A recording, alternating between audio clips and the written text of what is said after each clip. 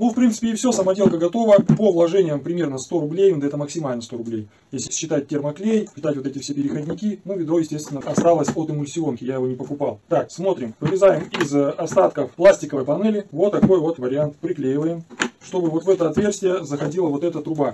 Также ее нужно сделать обязательно под уклоном, чтобы вода если сюда вдруг в этот отсек будет попадать, она скатывалась назад, э, где она и должна быть, в самое дно. Смысл этой приставки в том, что она работает как моющий пылесос. И сейчас я вам продемонстрирую. Ее можно использовать и как моющий пылесос, убирать влагу из паласов, с пола, э, так и аквафильтр, то есть фильтровать э, мусор, пыль через воду. Подойдет абсолютно для любого пылесоса, который у вас есть в доме. Все, остается только наполнить водой. Самое главное, чтобы вода была примерно вот до сюда. Получается где-то сантиметра два-полтора. Так как вот здесь у нас сантиметр до дна не достает, ну 2 сантиметра наливаем воды самое дно и закрываем крышку. А сейчас я вам продемонстрирую, как она работает. Первый раз воды будем наливать вот таким вот мерным стаканом, чтобы знать впоследствии, сколько воды нужно наливать, не отмеряя. Так, ну для начала, я думаю, литра полтора-два хватит для проверки.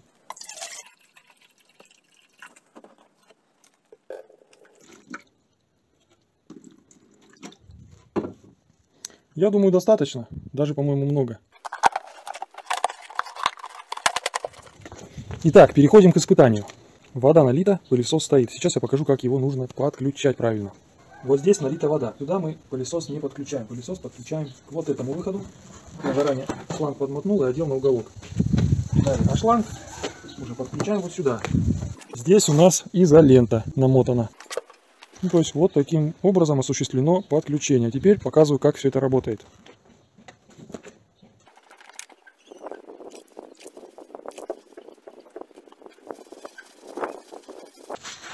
Сейчас нужно нам удалить влагу с нашего ковра. Включаем наш пылесос.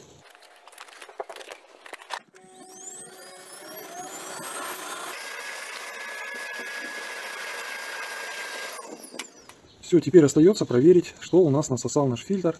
Кстати, если вы будете использовать его как моющий пылесос, а не как аквафильтр, можно воду сюда не наливать, а просто собирать ту воду с пеной вместе с ковра, и она будет оседать вот в этой насадке. Теперь смотрим, что в пылесосе.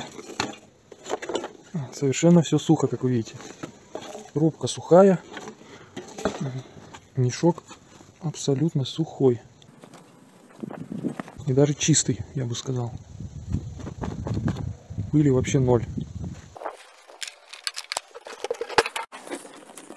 И теперь смотрим, что он насосал, сколько грязи и пены.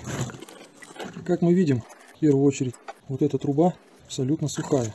То здесь, то здесь. Дальше смотрим воду.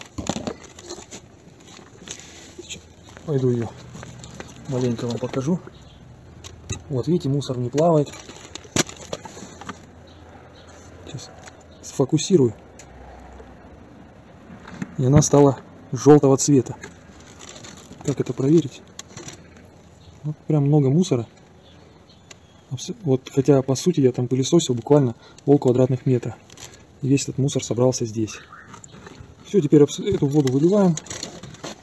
Пускай вот цветочки поливаются. Видите, какая она желтая. Можете обратить внимание на желтого цвета. Вот остался осадок. Теперь это промываем все и можно заливать новую воду и пылесосить, мыть паласы таким вот нехитрым способом. Сейчас моющий пылесос стоит дорого, а вот эта насадка практически бесплатная.